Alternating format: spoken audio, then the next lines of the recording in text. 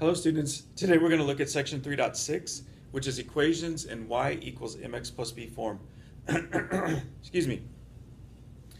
Up to this point we've looked at equations in y equals mx form. A couple of things we knew about them is that m was the slope. we also knew that this was called direct variation. Some of us figured out that a y equals mx equation is proportional, so we could set up proportionals to find the answer, proportions to find the answer. and the other characteristic of a y equals mx plus mx form of an equation is it always passes through 0 comma 0, which is the origin.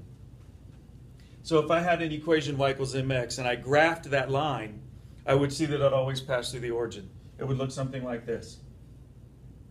If that's my x-axis and my y-axis, it would always pass through the origin, something like that. Okay? That's for y equals mx. Now we're going to add to this, and we're going to look at the form of y equals mx plus b. Okay? M is still the slope.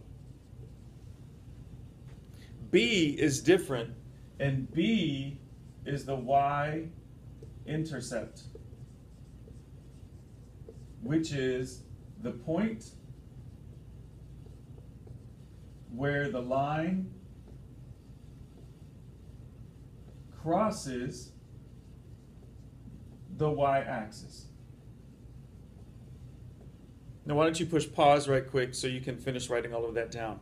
I'll say it again. y equals mx plus b. m is still the slope, just like it always is, but b is the y-intercept, and that's the point where the line that I'm graphing passes through the y-axis. I guess I should have moved my camera a little bit earlier. Sorry about that. So take a pause, finish writing all of that down, and then we'll come back and look at something different. So now that we have that written down, let's do a quick comparison. Okay? So if I have y equals mx plus b form, m is still my slope, but this is not direct variation. Okay? Because it has the plus b there, it is not direct variation. Okay? It's not proportional. Because I have that plus b right there, again, that makes it not proportional. If I didn't have a plus b, it'd be proportional, but since I don't, since I have a plus b, it's not proportional. Okay? Another comparison, passes through the origin, it does not pass through the origin. And those are three very important things to make sure you understand between these two types of equations. Know the difference between a y equals mx equation and a y equals mx plus b. So this uh, line could look something like this. It doesn't have to, but here's one example. It could look something like this,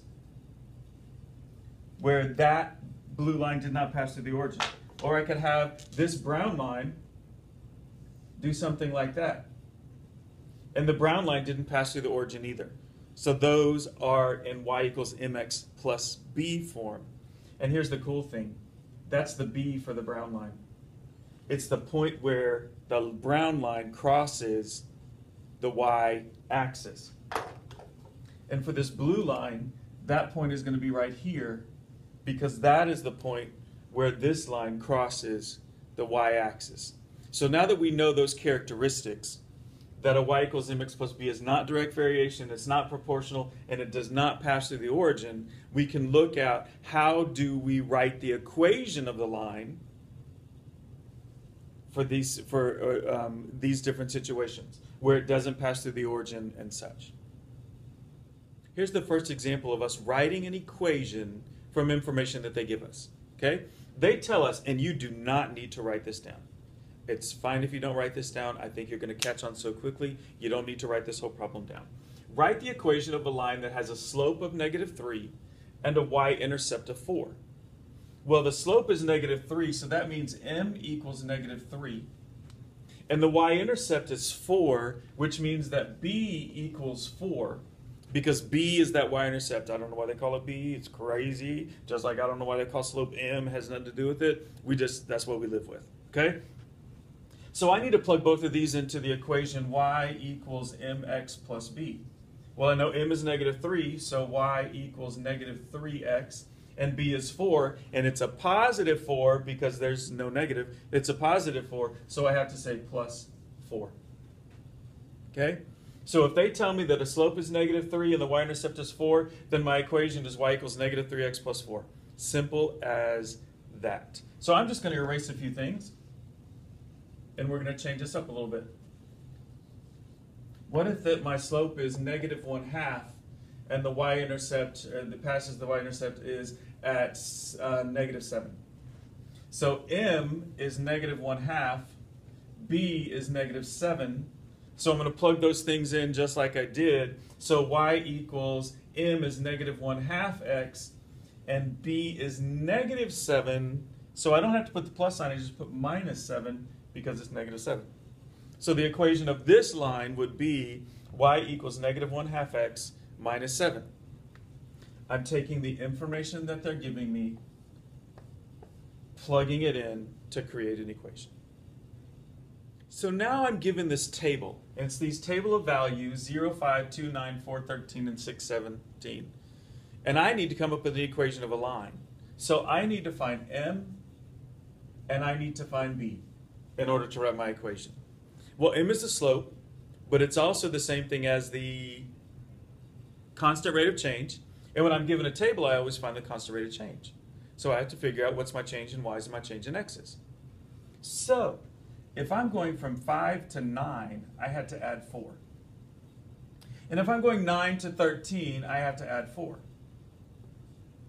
And if I'm going from 13 to 17, I have to add 4. So it looks like it is a constant rate of change. From 0 to 2, I add 2. From 2 to 4, I add 2. And from 4 to 6, I add 2. So yeah, I, just in case you haven't already, I do want you to write down this table, and I do want you to write down the information that I'm doing on this table. So if you need to hit the pause button right now to write this down, please do. Okay? So to find my m, I take my change in y over my change in x. So the change in y is 4 over the change in x, which is 2, and I simplify that, and I get 2, because 4 divided by 2 is 2. So I know that my m is 2. Okay? Now the b is a little different story. Okay? So here's something you need to catch. For b,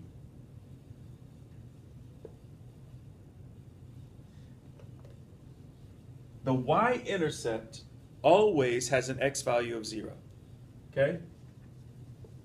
the x value is always zero. Okay? So for my y-intercept, I'm looking for a point that has an x value of zero. And whatever the x value of zero is and the y is, I didn't say that right. So whatever the y value is when x is zero is my b. Okay? So let's look over here. Do I have an x value that's zero? Why, absolutely. It's right there. So if my x is 0 and y is 5, then 5 is my b. It's as simple as that.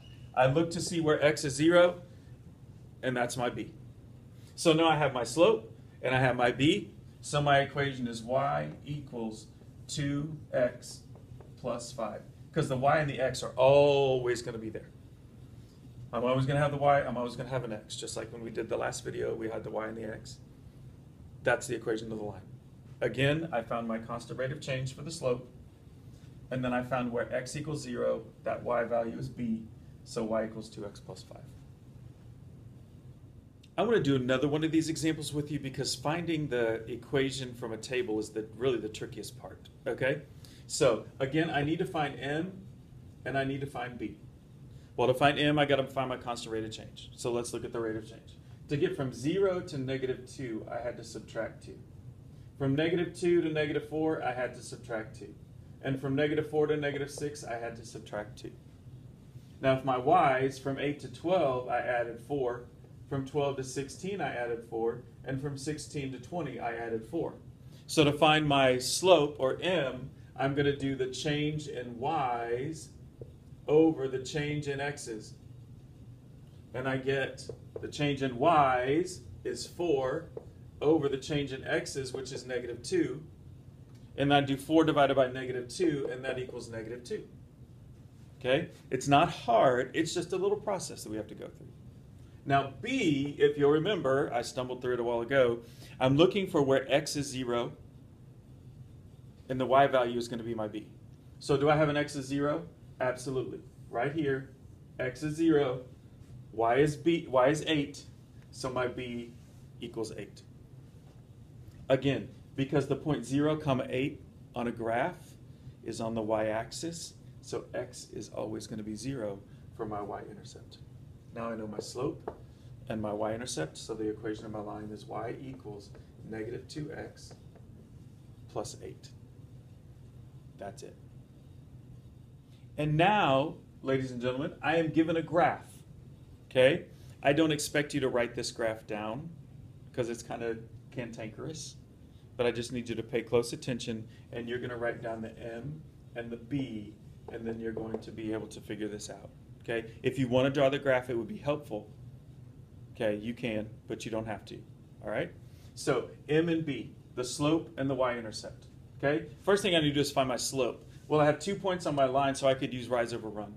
And I'm going to do that. So I'm going to start at the lowest point, and I have to rise one, two, three, and I have to run. I'm going to do the loops to make it one, two, three, and then I have to run one, two, and that gives me a slope of 3 over 2. So that's the first part. Now I have to find b. Where does this line, the brown line, cross the y-axis? Well, here's my y-axis because it go up, goes up and down. Where does the brown line cross? It crosses right here. Well, what number is that? If I start from the origin, I go down one, two, three. I went down three to get here, so that means that my y-intercept is negative three. If I want to label it, I could call this 0 comma negative 3. Notice that the x value is 0, so my b is negative 3. And it's also negative 3 on the y-axis. So there's my m and my b. I plug them into my equation. y equals 3 over 2x minus 3. And that is the equation of my line. Simple as that. Find the y-intercept calculate the slope with rise over run, and voila, this is the equation of the line. So this brown line is formed because I plugged in numbers for x and y, and I got to form a line. And here are your two practice problems for this video. Okay, for both of them, I want you to write the equation of the line in y equals mx plus b form. The first one says that the slope is negative 3 and the y-intercept is negative 2. So give me the equation of the line for that information. The second one is a table that I'm giving you, and I need you to figure out what M is, find B, and then write that as an equation of a line. Take a picture of your practice problems and submit it through Edmodo. Hey folks, I'm just seeing if you watch the video to the very end. Because you never know what comes at the end of a movie. End of a great video. Could be a surprise. If you see this message, write the number four on your practice problems, put a circle around the number four, and you earn four extra tickets for watching all the way to the end of the video. Don't tell anybody about this. Don't tell anybody. But if you get it, put a four, put a circle around it, and you'll get four extra tickets for watching this video.